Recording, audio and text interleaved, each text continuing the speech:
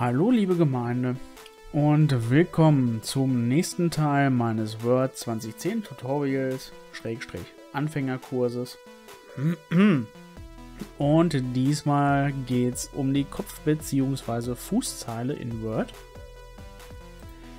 Ähm, wenn ich mich jetzt nicht ganz schwer hatte ich es in einem anderen Video schon mal angesprochen, die Kopf- und Fußzeile ja, ist grundsätzlich, ähm, jetzt überlege ich gerade, wie erkläre wie erklär ich das? Ähm, Text bzw. Grafiken, die automatisch auf jeder Seite oberhalb des Textes bei einer Kopfzeile, unterhalb des Textes bei einer Fußzeile angezeigt werden. Die können dementsprechend quasi dafür genutzt werden, zum Beispiel Firmenlogos, Adressen, Bankverbindungen etc. Also irgendwas, was auf jeder Seite dargestellt werden soll. Das heißt, ich habe jetzt hier meinen ganz normalen Text. Ganz normaler Text. So. Ne, ganz normaler Text. Und das Ganze hier nochmal. Ne, weil es so schön ist. Ich sag mal, ich möchte jetzt auf jeder Seite im Prinzip oben mein Firmenlogo drin haben. Unten Bankverbindung, was auch immer. Dann, könnt ihr, dann könnte ich das zum einen entweder so machen, indem ich sage einfügen, Grafik. Beispielbilder, was weiß ich, hier die Wüste. Ne, die bearbeite ich einmal, mache sie kleiner mit Textumbruch und bla bla bla. So, ne, die möchte ich aber halt auf jeder Seite haben. Wenn ich jetzt einen Seitenumbruch mache, siehe mein letztes Video, ist die neue Seite natürlich komplett leer. Das heißt, hier müsste ich jetzt quasi das Bild kopieren, einfügen und so weiter. Und dafür gibt es im Prinzip die Kopf- bzw. Fußzeile.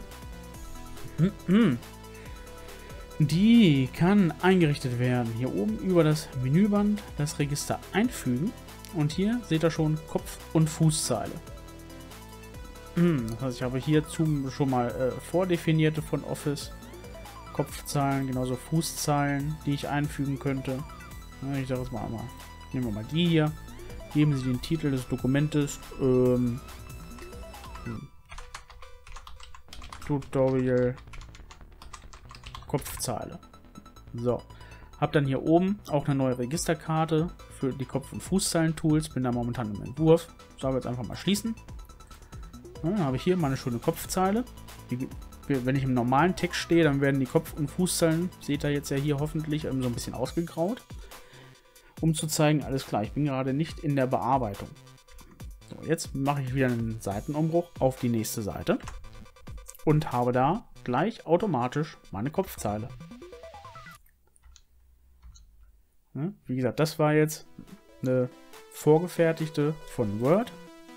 Die schmeiße ich nochmal komplett raus. Fußzeile funktioniert genauso. Einfügen, Fußzeile.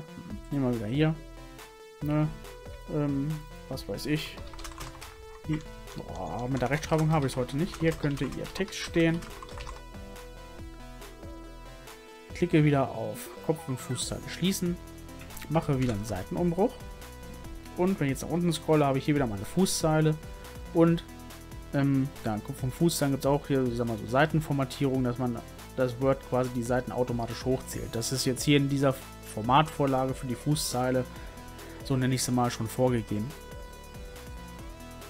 In die Bearbeitung kommt man durch einen Doppelklick in die Kopf- bzw. Fußzeile. Das heißt, ich klicke jetzt hier doppelt in die Fußzeile, bin in der Bearbeitung drin und lösche jetzt den kompletten Text nochmal raus. STRGA, alles markieren, entfernen, löschen. So. So, Seitenumbruch will ich nicht mehr. Genauso kann ich sagen, ich möchte eine eigene Kopfzeile bzw. Fußzeile definieren. Dann gehe ich wieder auf Einfügen, Kopfzeile und sage hier unten Kopfzeile bearbeiten. Bin im Bearbeitungsmodus und kann hier jetzt zum Beispiel eine Grafik einfügen. Nehmen wir wieder die Wüste. So, mache die ein bisschen kleiner hier. Ähm, schreibe hier wieder Tut Tutorial Kopfzeile. Noch eine Leerzeile dazu.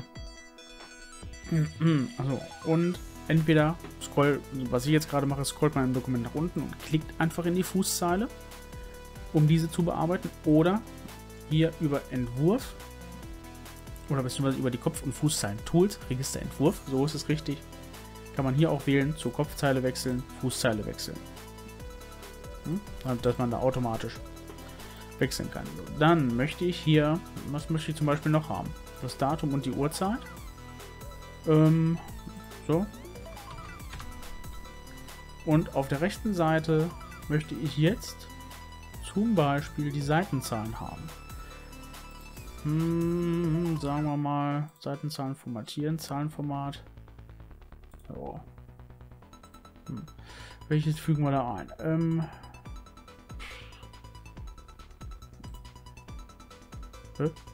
Oh, Moment, jetzt habe ich gerade... Verdammt, warum habe ich das in der Kopfzeile gemacht?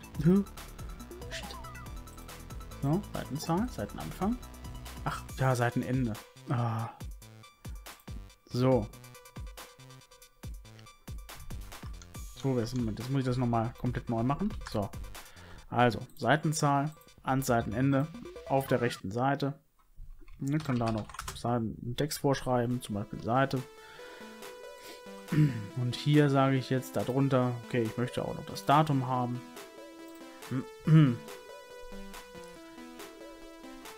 Ich klicke dann auf Kopf, Fußzeile schließen.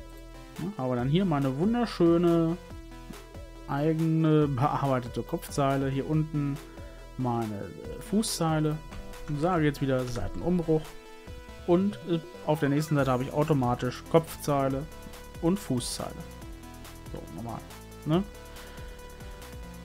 Genauso müssen es ja nicht Seitenzahlen sein, sondern wie gesagt, ähm, was weiß ich, Adresse, Musterstraße 10, äh, PL Postleitzahl, so, 1, 2, 3, 4, 5, Ort, was weiß ich, Musterhausen, ne? Das alles natürlich idealerweise entsprechend formatiert, dass es ordentlich aussieht und hast du nicht gesehen.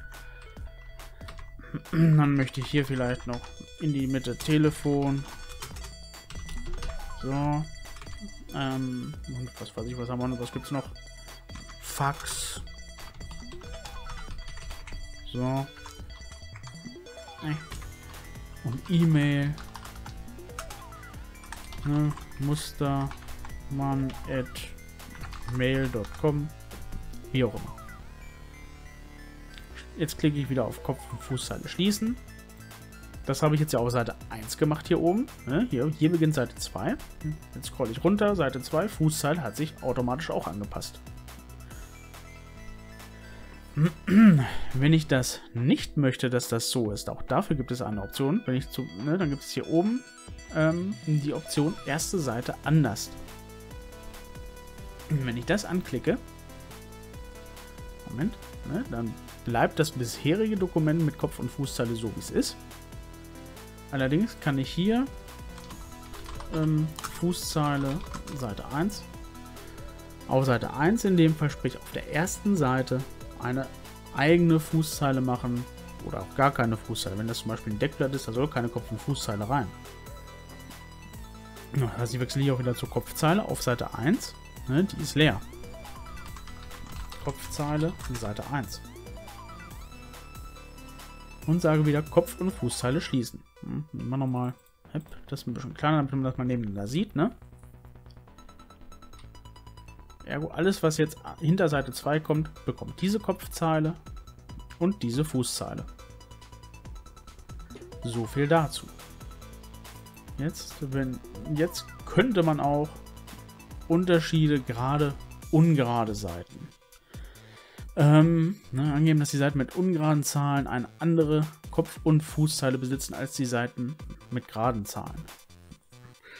Ähm, ja, also das einzige Beispiel aus der Praxis, sage ich jetzt mal, ist, wenn man ein, Buch in Anführungszeichen druckt oder ein, oder ein Heft mit Duplexdruck etc.